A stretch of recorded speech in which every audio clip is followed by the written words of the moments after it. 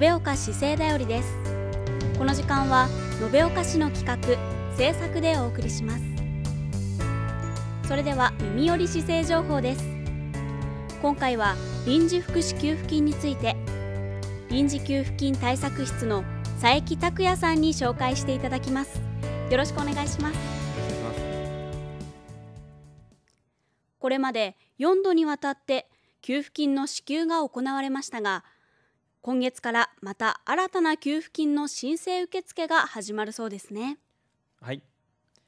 臨時福祉給付金経済対策分の申請受付が3月17日から始まります。今回の給付金は平成26年4月の消費税率の引き上げによる影響を和らげるため所得の低い人に対して支給されるもので昨年の9月より実施していた臨時福祉給付金に引き続き実施されるものです。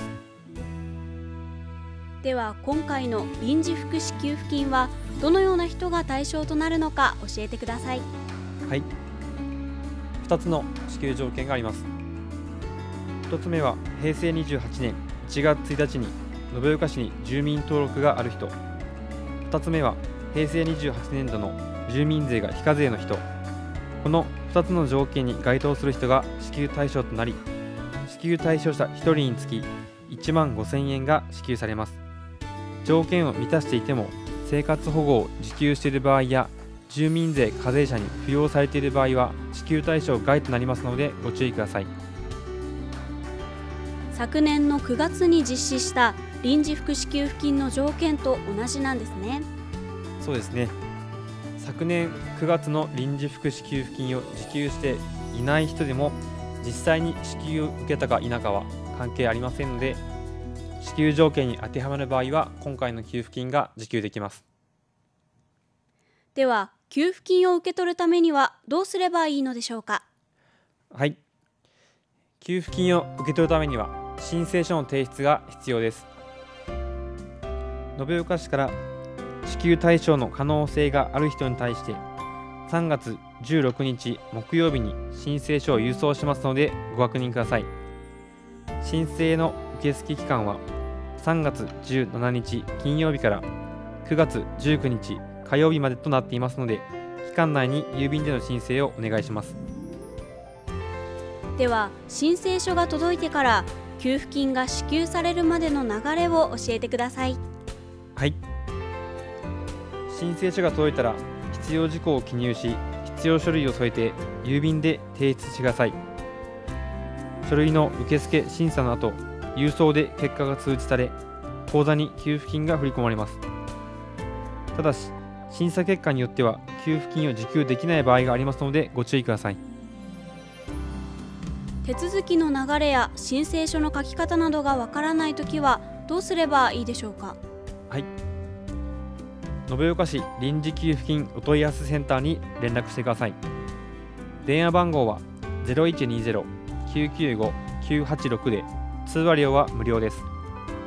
受付期間は土日祝日を除いて3月17日から5月31日までで時間は午前9時から午後5時までです。また広報延岡3月号や市のホームページにも掲載していますのでご覧ください。申請書の提出は原則郵便でということですが郵便での申請が困難な人はどうすればいいのでしょうか？はい。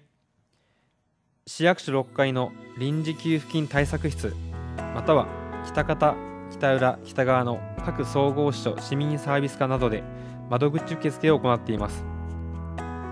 受付期間は土日祝日を除いて3月17日から9月19日までで時間は午前8時30分から午後5時15分までです。また今月末に限ってですが休日受付夜間受付をご覧の日程で実施します。申請書を直接持参した場合でも当日の現金支給はできませんのでご理解とご協力をお願いします。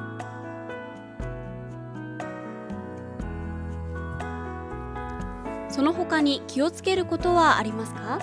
はい臨時給付金の詐欺に注意してください。延岡市や宮崎県厚生労働省が ATM の操作をお願いしたり電話で口座番号を聞いたりすることは絶対にありません。ご自宅や職場などに臨時給付金の職員を装った不審な電話や郵便があった場合は迷わず警察署や延岡市にご連絡ください。今回は臨時福祉給付金について臨時給付金対策室の佐伯拓也さんに紹介していただきました。ありがとうございました。ありがとうございました。最後に延岡市からのお知らせです。市では引っ越しなどで家庭から出たゴミの臨時収集を行っています。申し込みは事前に資源対策課または各総合支所市民サービス課までご連絡ください。臨時収集は1トン車1台につき5140円です。指定ゴミ袋や粗大ゴミシールは必要ありません。また職員は自宅の中に入りませんのでゴミはゴミ出しルールブックを見て正しく分別し事前に玄関先や車庫などに出しておき立ち会いをお願いします